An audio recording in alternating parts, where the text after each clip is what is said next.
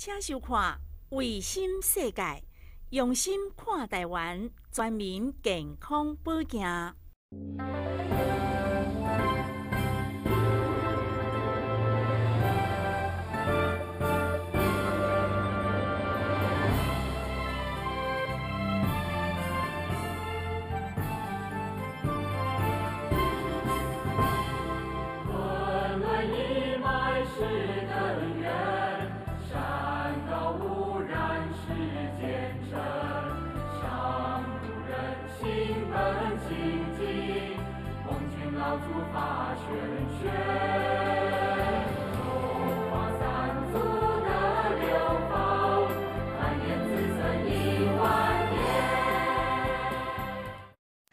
各位善信大德、现实同修，大家好，欢迎收看《全民健康保健》。为了要确保全民健康，让大家更知道保健身体正确的理念，我们特别邀请台湾最优秀各科专业医师群来关心大家身体健康的问题，增加健康的专业知识，带给社会、家庭每个人都能够平安、健康、快乐。今天非常高兴，我们邀请到的就是中山医学大学附设医院小儿血液肿瘤科翁德福翁主任。翁主任，你好。你好，大家好，我是中山医学大学附设医院儿童血液肿瘤科翁德福翁医师。好，今天很高兴来到这里。是翁医翁医师啊，我们知道就是说在医疗科别里面哦，这个呃血液肿瘤科，但是呢，你的专长是非常的多。在这里呢，我简单的来做介绍一下啊。就是有关于血液的疾病啊，就是呃儿童跟成人的先天性或者是后天性的这个血液疾病的问题啊，还有各种贫血的问题哦。另外，他还有一个专长就是出血性跟血栓疾病的问题。再来呢，也就是还有就是这些啊、小儿成人的恶性肿瘤的问题是。当然，这里面有很多的细分的问题啊。是是我们今天这个节目呢，就是邀请我们翁德福翁主任呢来谈一谈哦，这个呃我们血液的这个血友病的问题啊。是我们提到这个血友病呢，啊，消化拢的黑青，消化挂掉都是肺痨不停，打个喷嚏可能哎这个血液流不停，或者是刷牙的时候呢，呃这个呃血也流不直。是啊，有些人呢，就是呃，可能耽误了一些医疗的时间，把它当做是一些牙周病在做处理啊，是是只是牙齿常常流血呢，其实不是这些的问题哦。对，所以这些像血友病的人呢，嗯啊，生活应该要怎么样的去注意，或者是他的生活要如何的调试会比较好？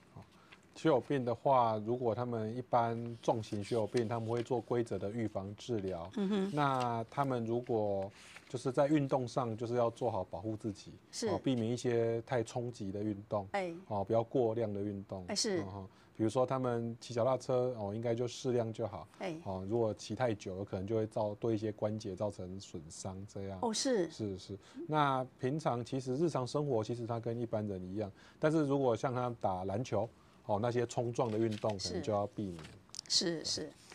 刚刚我们提到了这个先天性的血友病，是那么后天性的血友病到底又是怎么来的呢？哦后天性血友病跟先天性血友病发生的原因完全不一样啊，。完全不一样。对，后天的话，哦，先天血友病的话，它是基因遗传的问题，是体质的问题。还是但是后天的话，是因为某些原因，哦，举例来讲，像怀孕，哎哦，怀孕是一个最容容易产生后天型血友病的一个时间。哎是是。啊，第二个就是老人家六十五岁以后，嗯。哦，这个发生后天型血友病的原因就增加。那的原因主要是因为老人家的免疫系统哦开始退化，哎是。哦开始就是出现自己打自己的情形，哎是。哦，他就体质改变了，是。哦，那这就形成一个后天血友病。是是，所以您提到这个免疫疾病啊，嗯。这些的问题，嗯可是这个是免疫系统的问题，治对疗上面可能就比较困难哦。哦，这个后天型血友病，它的治疗就是它是一个免疫的问题，所以它事实上它是利用一些免疫抑制的药物，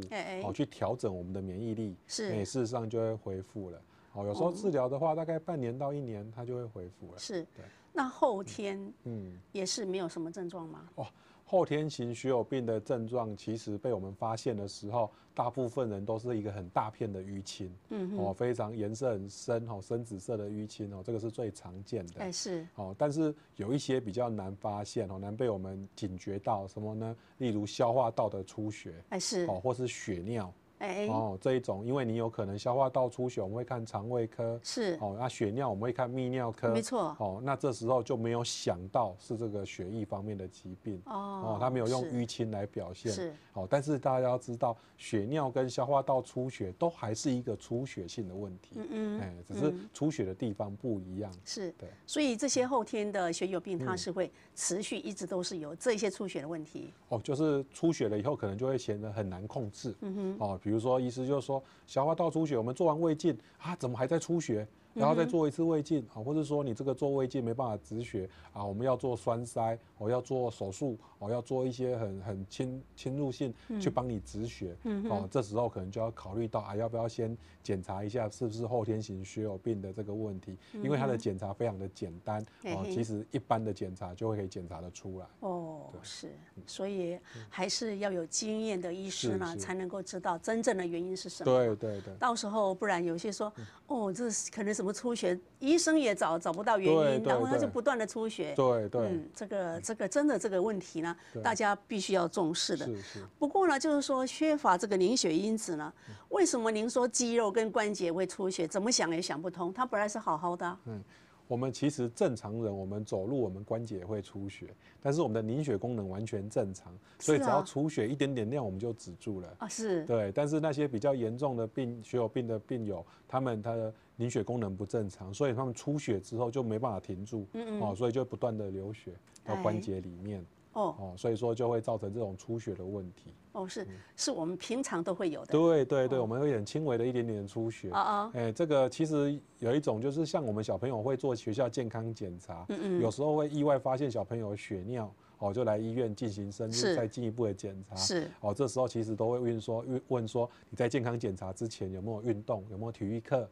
哦，其实体育课完之后，有时候就会出现血尿。哎，是，对对，就是因为小朋友在运动的过程中，哦，事实上他的脚在踩啊，有时候肌肉会有一些关节出血，或是一些血红素就破裂了，哦，这样的情形。嗯是哦，所以正常人就会有这样的情形。哦，要注意。另外呢，嗯，我常常听人家说啊，有人在刮痧，是但是有些人是不能刮的，是这些人是不能咯。哦，这些人刮痧他淤青会特别严重。哦哦，是，对，就是刮痧，一般大家都知道会淤青嘛。哎对哦啊，但是这些人刮下去，可能就淤青的很大一片。哦是，哦而且很难好。哦哦，哦，就是说你刮下去，哎，怎么别人都好了，剩下我的还没有好？是哦这样的情形。正常的刮痧大概会有一个礼拜左右。哎，一个礼拜就很清楚的都没有了嘛。对对。像这些人可能会比较久哇，的时间。这个可能两三个礼拜都不见得会哦完全消失那那这些人真的是不能。如果你有这样刮痧的经验，人家都已经退了，嗯痧都退了，都恢复到皮肤的颜色，而你的刮痧了一直都还在的话，是是真的建议你去检查一下是是哈。没有错。再来问这个，像这个血友病后天呢、对它会痛吗？哦，看他出血的地方。哎哦，他今天如果是出血在皮下血肿，哦，他可能就会疼痛，或者是是血尿哦很严重，血块形成，哦，这个就会疼痛。哦，像之前我们预告一个爷爷，他就是血尿很严重，甚至导致肾衰竭，要洗肾了。哎，是哦，那那后来幸好有发现他是后天型血友病，赶快帮他止血，他肾功能就恢复了。是，哦，所以有时候这个能够正确诊断出来这个后天型血友病的话，哦，对病人来讲非常的重要。是。哦，不然他真的去洗肾，那事实上根本是不需要的。是是，所以我们平常啊，就说当小孩或者是这些成人，你莫名其妙的出血的时候呢，或者是呕青啊，啊淤青这么大一块，或者是有不小心碰撞有外伤，血流不止的时候呢，要赶快找医生。我听说这个专业医生呢，他就是可以诊断是不是血友病，然后呢还要再抽血。对对为什么要再抽血？滚滚一脉是根源，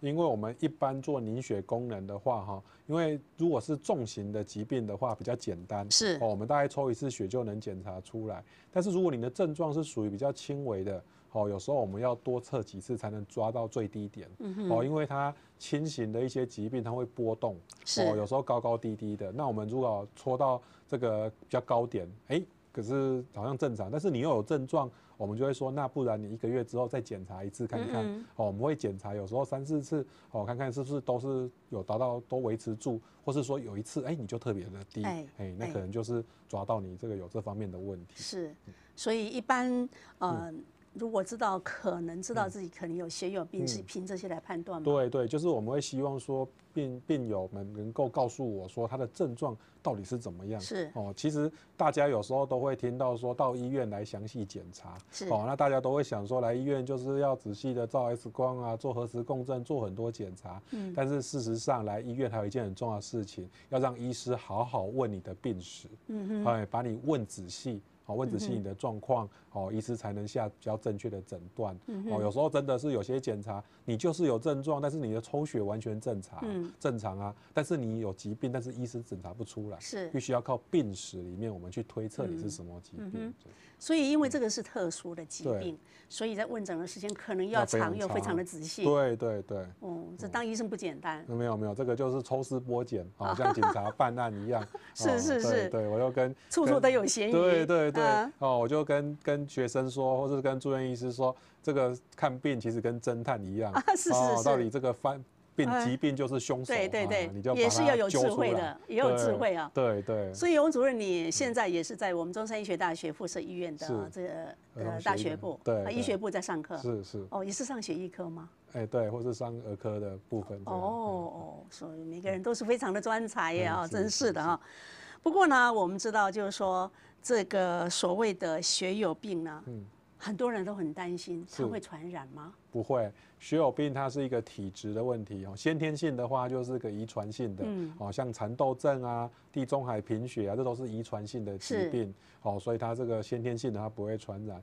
那后天的话，它是一种体质的问题，嗯哦，自己的体质改变。我刚刚讲，你怀孕的时候体质改变了，是哦，你年纪大了体质改变了，嗯哦，所以这个是一个自己身体的一个变化哎，哦哎，它治疗之后它不会传染给别人。哦，是。那后天型血友病也不会遗传，嗯嗯哦，也不会说啊，我爷爷有后天型血友病，我会不会也有？这个不会。嗯哼。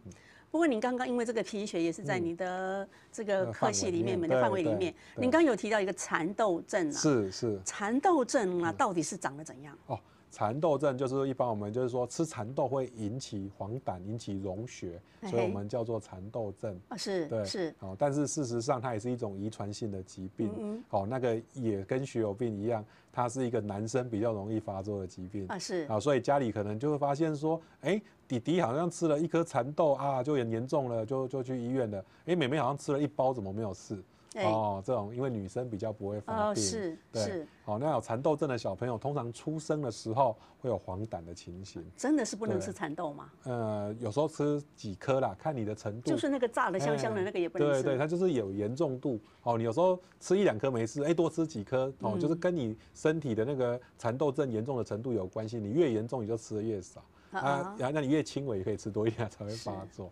不过是这样哦，我们的食物其实非常的多。是是，真的，如果说你被医生医生诊断说你有蚕豆症的话，这个东西我们就对对。光看就好了，或者闻个香就好，不要吃了嘛。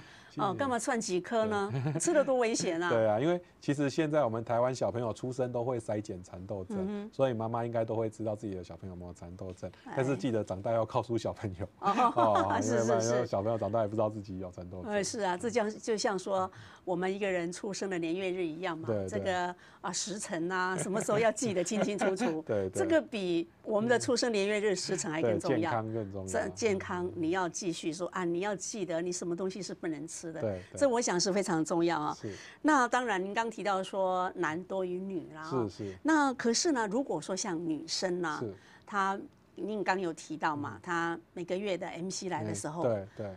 嗯，来的时候大概一直来不止嘛？还是她时间比别人更长？哦，一般我们女性的月经的话，大部分应该要七天之内。哎，哦，一般这个时间，如果你超前后过大概这个时间，对超，过七天的话，你就要注意了。哦，有可能是，当然有可能是女性荷尔蒙的问题。还是哦啊，当然也有一部分哦，可能是嗯这个出血性的疾病。嗯嗯哦，之前台北的三军总医院就有做过一个研究。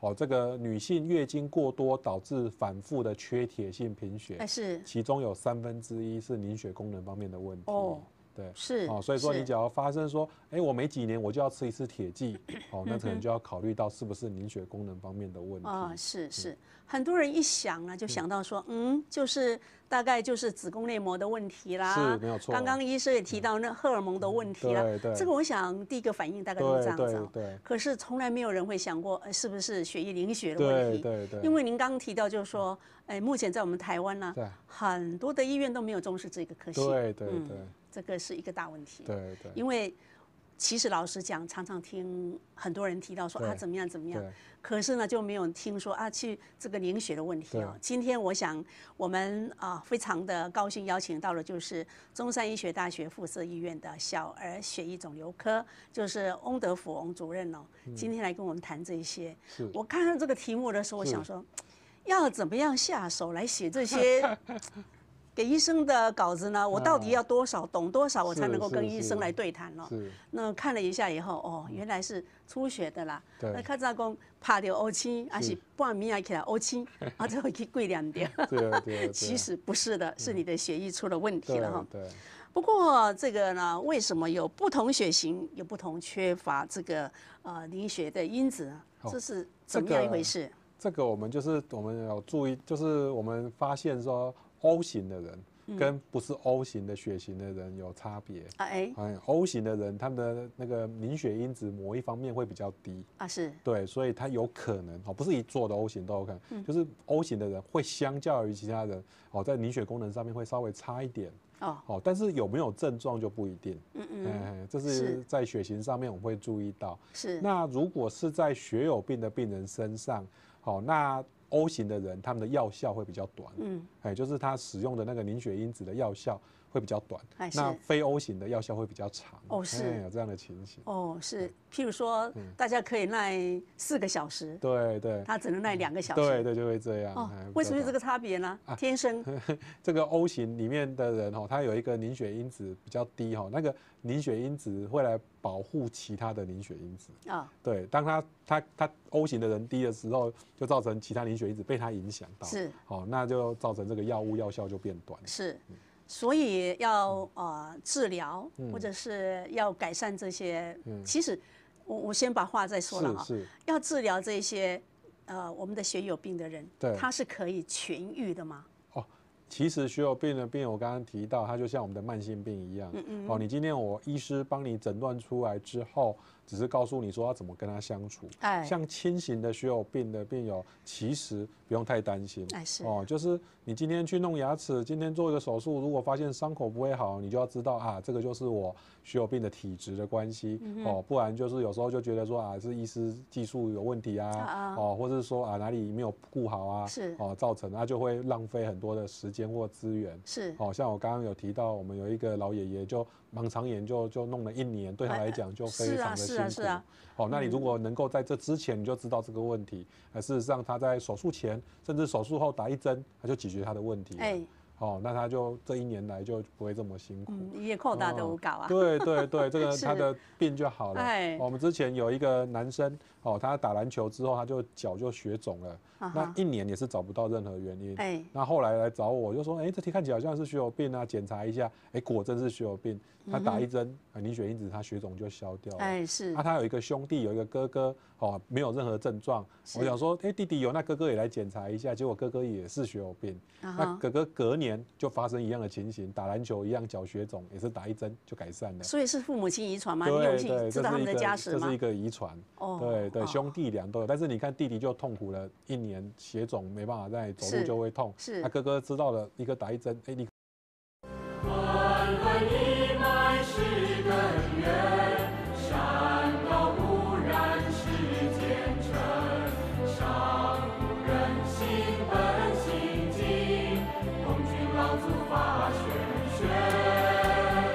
像其他的疾病说有隔代吗？还是代代？这个会类似像隔代的情形。举例来讲，今天一个血友病的病病，那个血友病的病友，他结婚，他生下来的小孩子，哦，他的生下来的儿子跟女儿都会是健康的。哎，但是女性会带着这个血友病的基因，所以等到他的外孙会有一半的机会，哈，男男外孙会有一半的机会会发病，是，对，所以他他的下一代会看起来，哎，我的儿子女儿都很健康啊，哎，但是我的那个。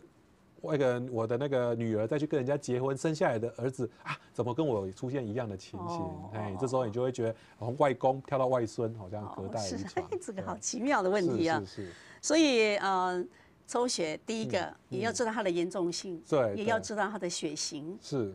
来做治疗嘛？对对对，哦，他如果是清醒的话，其实跟正常人一样，就不用，我都跟他说，你不用太担心，只是要记得说我这个体质这样就好了。是，可是我们的血有很血型有很多种啊。是是。就我们所知道的 A、B、C 型的啦。我们现在其实就主要分 O 型跟非 O 型就好。哦，这样就可以了吗？对对对。其他的都没问题吗？哦哦，因为 A 型、B 型、A、B 型它差不多，嗯哼，哎，在凝血功能上不会跟没有差太多。没有差太多。对对。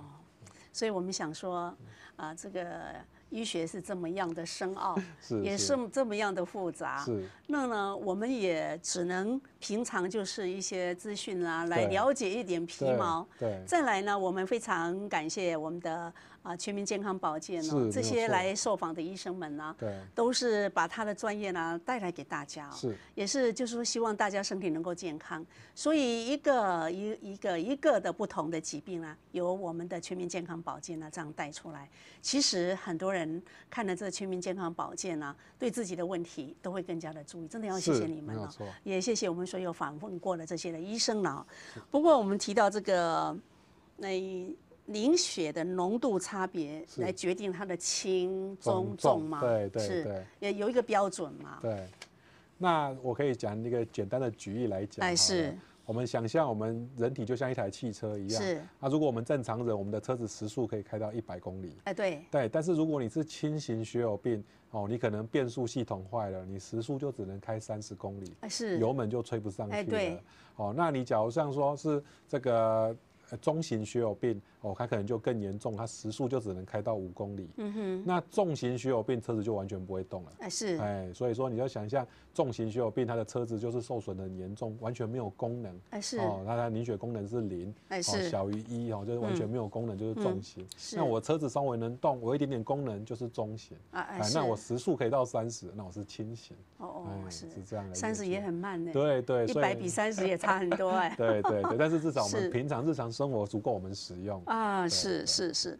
不过呢，我想了，也就是说，我们不止说，嗯，一个人呢是心脏是很重要，是心脏跳动，人的性命是在的啦哈。对，心脏不跳动呢，您有身体再好的器官结构都还是没办法嘛。没错。但是这个所谓的血友病啊，如果你不注意的话，当你到达了金价哈，整部车子都是动不了的时候，哎，这个是有威胁到生命的。你今天这个凝血功能很差的时候，哦，你就会出现出血的问题。是，哦，像我刚刚讲的那些血尿、消化道出血啊，哦，甚至还有也有脑出血的病人，是，就像中风一样。嗯。哦，有一些年轻人的中风啊，哦，或者是说那个那个小婴儿的中风，有可能就是凝血功能。小婴儿会中风？是，他们就会脑出血。哎。哦，大家应该。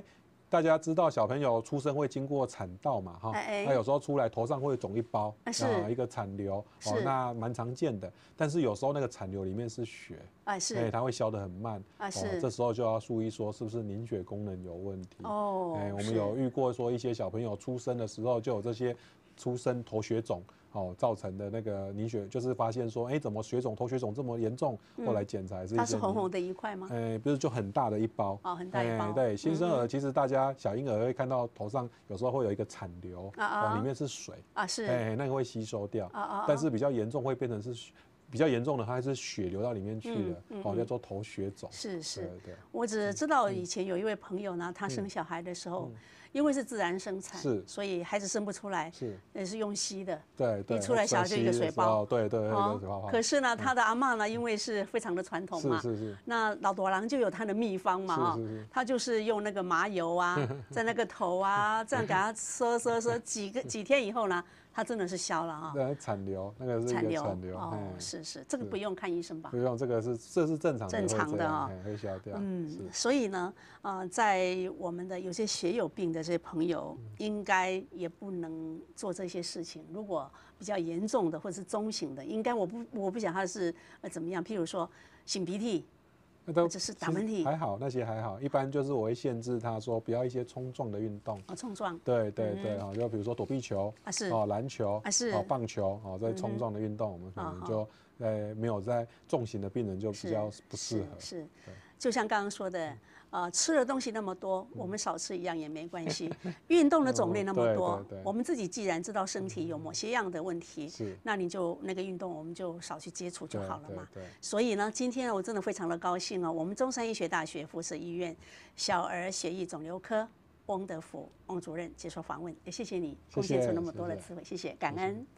同时也感谢收看《全民健康保健》，祝福大家平安健康。《Thank you.